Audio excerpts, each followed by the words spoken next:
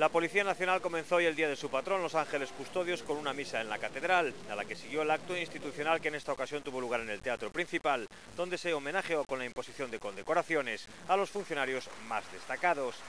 La celebración reunió a las principales autoridades locales, además de una amplia representación de la sociedad urensana.